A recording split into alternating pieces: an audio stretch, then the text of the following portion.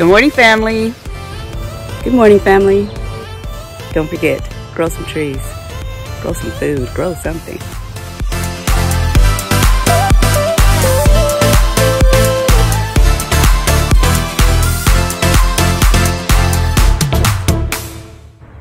Let's get started.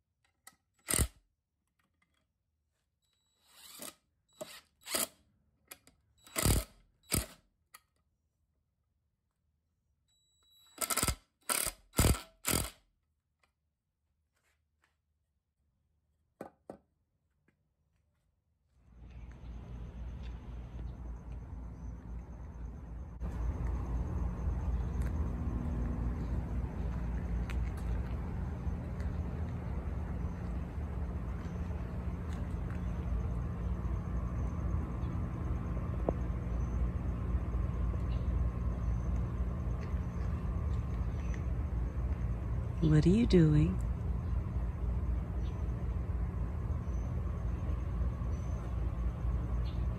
Are you eating the grass or are you licking the water off of it?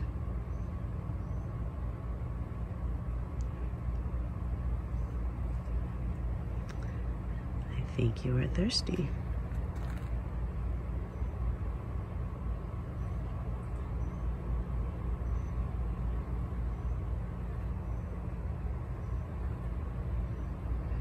Like I said, definitely not afraid of me.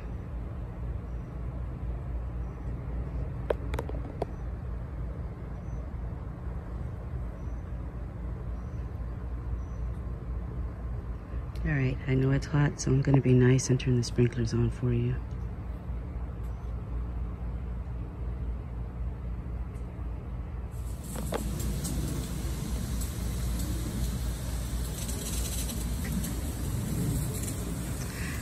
So he's just sitting up there on top of my compost bin now.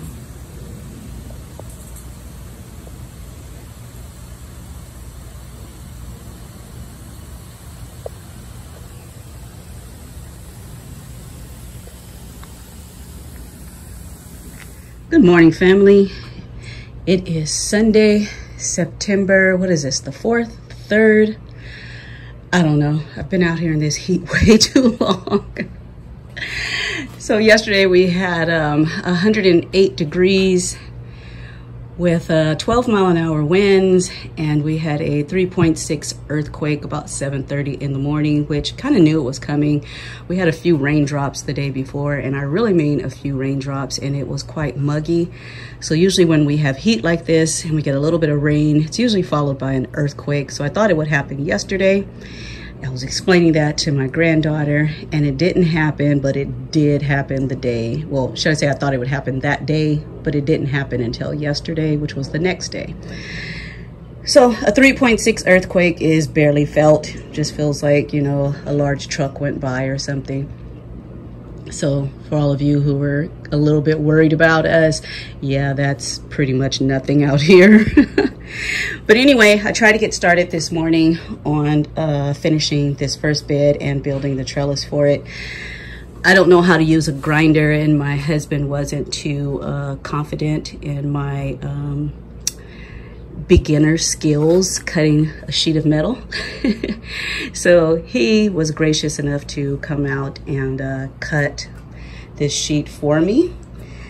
He told me to just go ahead and measure and mark and he would come out and cut it. So he did an excellent job. So I'm gonna go ahead and attach it to these inner squares and then try to get it attached to that bed before uh, I pass out out here because I am literally drip, drip, dripping with sweat and uh, head is starting to hurt. So this will be probably the only thing I get done outside this morning it has been so hot that um, I've been having to water constantly to try to keep everything alive. My fruit trees were starting to scorch. I had to uh, come out and make sure they were covered because yesterday with the winds blowing, you know, they were knocking things down. So it did knock down the shade cloth I had over here, the obelisk, it knocked this one over, it snapped off. The other uh, purple hull pea vine that was growing in there. So I would sit it back up and it would just keep knocking it over. So I just had to leave it laying down for a little while. But it also broke off one of the branches on this um, early girl tomato plant.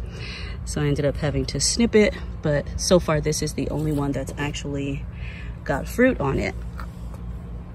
But aside from that, I mean, there's not too much damage.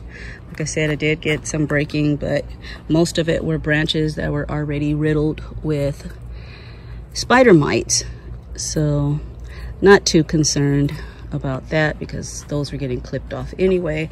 I did get a few broken branches on my kumquat, but like I said, also not too much damage. And uh, there is a little guy on there so it just came out watered really, really well and hopefully they will do okay today without the shade cloth up here.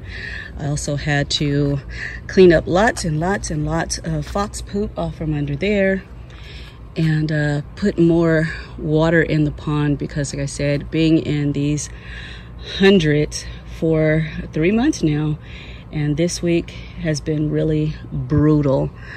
So as you can see, I got lots of branches hanging down now from that wind yesterday. But um, yeah, it's just too hot to get out here and try to correct anything. So like I said, I'm running my mouth, but um, I'm gonna go ahead and get over there and get that done so I can get inside because it's already 98 degrees. yeah, 98 degrees already. And uh, it's not even 11 o'clock in the morning yet. I don't even think it's 10. So I'll leave you guys with this beautiful sedum. Look at that. Now I'm gonna head over here and get busy. Both of these pieces are done now. They are the end caps for that bed right there. So I didn't take these all the way to the edge because I don't want to have to use so much force to go through this metal when I'm attaching it to these other sides over there. So I wanted to leave this exposed so that that would just butt up against there and uh, attach them. And then I'm gonna run a line of silicone in each corner to uh, help retain the moisture, keep water and soil from seeping out of there. But uh, it's hot now. I just checked the temperature and it is 100 degrees. So I am heading inside now. I'm gonna go make some breakfast and uh, see if I can come back out probably this evening and get a little bit more work done.